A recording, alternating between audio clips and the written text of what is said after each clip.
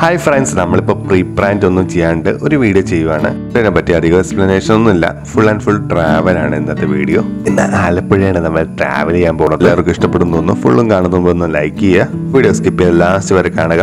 I am Ramesh welcome to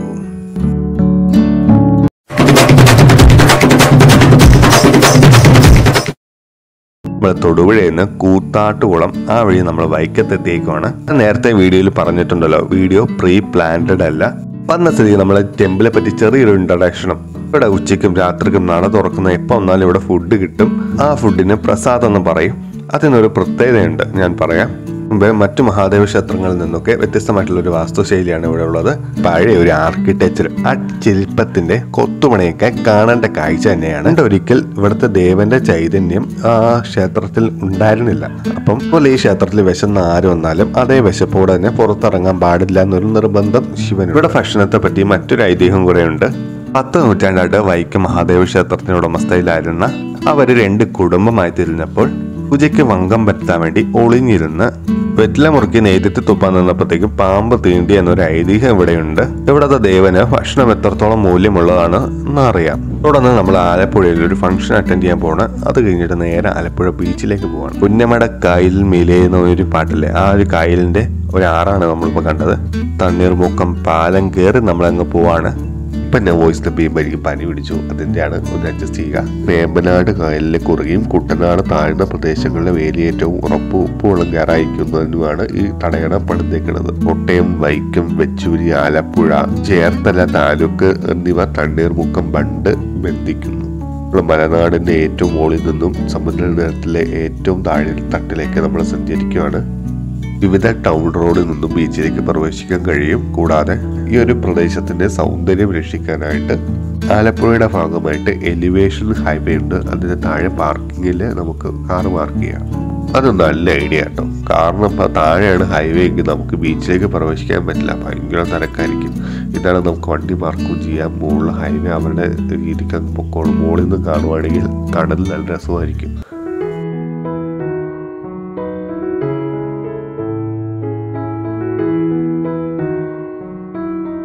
ബീച്ചിലോട്ടൊക്കെ വരുമ്പോൾ നമുക്ക് പരിചയമില്ലാത്ത അവസാനമാണ് അപ്പോൾ അധികം ഒന്ന് അകത്ത് ഇങ്ങനെ കയറിപ്പോയി കുളിക്കുന്ന പരിപാടി വേണ്ട. പിന്നെ ചെറുതായിട്ട് മഴയൊക്കെ തോന്നുന്നുണ്ട്. അതുകൊണ്ട് വെള്ളത്തിന് നല്ല ഹോഴ്സാണ്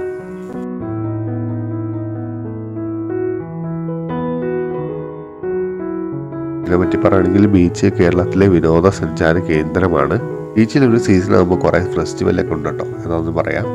പ്രധാനമായിട്ടും ന്യൂ ഇയർ സമയത്ത് ഇവിടെ ഒടുക്കത്തെ തിരക്കായിരിക്കും. ഇവിടെ ഈ മണലൊക്കെ വെച്ച് ഒരു സാൻഡ് ഫെസ്റ്റിവൽ ഉണ്ട്. അതായത് മണൽ വെച്ച് ഭാവനയ്ക്കനുസരിച്ച് നല്ല അടിപൊളിയായിട്ട് കുറേ മരങ്ങളും ശില്പങ്ങളും ഒക്കെ ഉണ്ടാക്കും. കാണാനും ഒരുപാട് ഭംഗിയാണ്.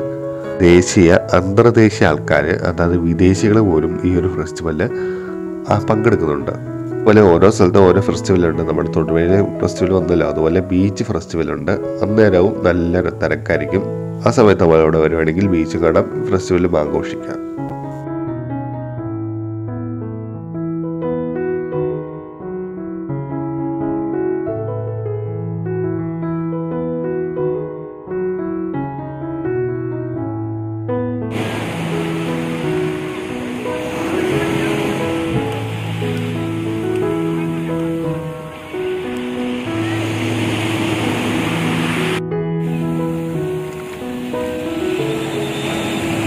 നൂറ്റമ്പത് വർഷം പഴക്കമുള്ള ബ്രിട്ടീഷുകാരുടെ പഴയ ഒരു കടവയാണ് കടവയാണോ കടവ് ഓക്കെ കടവാണ്. പഴയ ഒരു കടവാണിത്.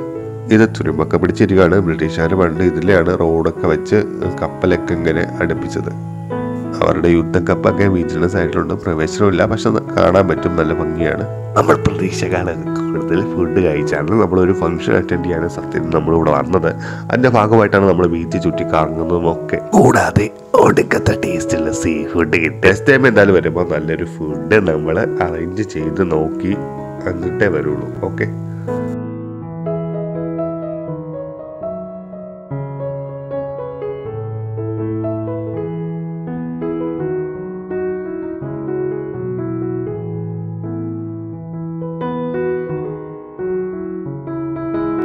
ഇപ്പൊ എത്രയും വരുന്ന കടൽ യാത്രകാലങ്ങളിൽ ഒത്തിരി അടുത്ത് വരും. അങ്ങനെയാണ് ആ ഒരു തിട്ട പോലെ അവിടെ കാണപ്പെടുന്നത്. കൂടാതെ ഇവിടെ ഒട്ട സഫാരി ഉണ്ട് കുതിര സഫാരി ഉണ്ട് അതൊക്കെ കയറാൻ കണ്ടോ ഒക്കെ നമ്മൾ ഒരു ഓൾറെഡി ഒരു ഫംഗ്ഷൻ കഴിഞ്ഞിട്ടാണ് നമ്മൾ ബീച്ചിലേക്ക് വന്നത്. അപ്പോൾ നമ്മൾ ഫുഡ് നമ്മൾ പുറത്തുനിന്ന് കഴിക്കുന്നില്ല. പകരം നമ്മൾ ഒരു ചെറിയൊരു ഐസ്ക്രീം കഴിക്കുവാണ്. ഇവിടുത്തെ ഐസ്ക്രീമിന്റെ പ്രത്യേകത അധികമൊന്നുമില്ല. എന്നാലും ബീച്ചിന്റെ ഒരു ഭംഗിയും സൗന്ദര്യം പിന്നെ ഒരു ഐസ്ക്രീം ഒക്കെ കഴിക്കുമ്പോൾ ഒടുക്കത്തെ ടേസ്റ്റാണ്. ഫ്ലേവർ ഐസ്ക്രീം ഉണ്ട് എനിക്ക് ഇഷ്ടപ്പെട്ടത് ജാക്ക് ഫ്രൂട്ടിന്റെ ഐസ്ക്രീമാണ്. അത് കുറച്ച് വെറൈറ്റി ആയിട്ടുള്ള ഫ്ലേവറാണ്. ആ ഒരു പഴുത്ത ചക്കയുടെ ടേസ്റ്റ് പിന്നെ ആ നട്ട്സിന്റെ ടേസ്റ്റ് ഒക്കെ ഹെവി ആയിട്ടുണ്ട്. Taste always good but normal jackfruit ice cream കാളുമൊക്കെ ചക്കയുടെ ചെറിയ ചെറിയ കഷ്ണങ്ങൾ കിട്ടുന്നുണ്ട് ടേസ്റ്റിന് വേണ്ടി. ഹെവി ആയിട്ടുള്ള ഒരു മധുരമില്ല നല്ല നോർമൽ മധുരമാണ്. ഞാൻ കഴിച്ച വെച്ച് അടിപൊളി ഐസ്ക്രീമാണ്. എന്തായാലും വരുമ്പോൾ ട്രൈ ചെയ്യുക. നമ്മളൊരു ഫുഡ് ബ്ലോഗർ എന്ന് പറഞ്ഞ ഫുഡ് കഴിച്ചിട്ട് ശരിയായില്ല അതുകൊണ്ട് ഒരു ഐസ്ക്രീം വാങ്ങി കഴിച്ചെന്നുള്ളൂ ഇന്നത്തെ വീഡിയോ ട്രാവൽ വീഡിയോ ആയിപ്പോയി. അടുത്ത വീഡിയോ നമ്മളതിൽ ഫുഡിനെ പറ്റി കുറേ എക്സ്പ്ലെയിൻ ചെയ്ത് കുറേ വീഡിയോസ് നമുക്ക് ക്രിയേറ്റ് ചെയ്യാവുന്നതാണ്. നമ്മൾ കണ്ടുപിടിക്കുന്നത് ഒരുപാട് പഴക്കമുള്ള ഒരു ലൈറ്റ് ഹൗസ് ആണ്. പണ്ട് ബ്രിട്ടീഷുകാരുടെ കാലത്ത് കണ്ട് പണിതാന്ന് തോന്നുന്നു. പിന്നെ നേരെ പോണത് കുട്ടനാടിന്റെ ഭംഗിയുള്ള ഒരു സ്ഥലമാണ്. അവിടുത്തെ നെൽകൃഷി നല്ലൊരു ഭംഗിയാണ് കാണാൻ.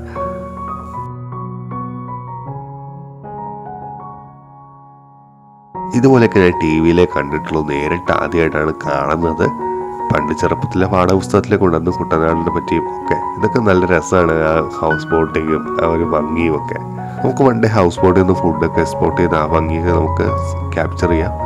അവരുടെ ലൈഫ് സ്റ്റൈൽ ഒരു പ്രത്യേക ലൈഫ് സ്റ്റൈലാണ് മുമ്പശം ആറും പുറകുവശം നെല്ലും ഒക്കെയാണ്. അപ്പോൾ അങ്ങനത്തെ ഒരു ലൈഫ് സ്റ്റൈൽ ഒരു പ്രത്യേക വൈബാണ് ആലപ്പുഴക്കാരും കാണുവാണെങ്കിൽ അവിടുത്തെ ഫേമസ് ഫുഡ് ഏതെന്ന് കമന്റ് ചെയ്യുക. നമ്മൾ കുറേ ഐസ്ക്രീം ഒക്കെ കഴിച്ചുകൊണ്ട് ജലദോഷമൊക്കെ പിടിച്ചു. അതിന്റെ ഒരു ബുദ്ധിമുട്ട് വോയിസിലുണ്ട് നമ്മുടെ സ്റ്റൈലിങ്ങനെ വരുന്നില്ല എന്നുള്ളൂ. നമുക്ക് നെക്സ്റ്റ് ടൈം സെറ്റാക്കാം പിന്നെ വീഡിയോ പറ്റിയുള്ള അഭിപ്രായം കമന്റായി രേഖപ്പെടുത്തുക. പിന്നെ സബ്സ്ക്രൈബ് ചെയ്യുക സപ്പോർട്ട് ചെയ്യുക. അപ്പോൾ കാണാം. ടാറ്റ.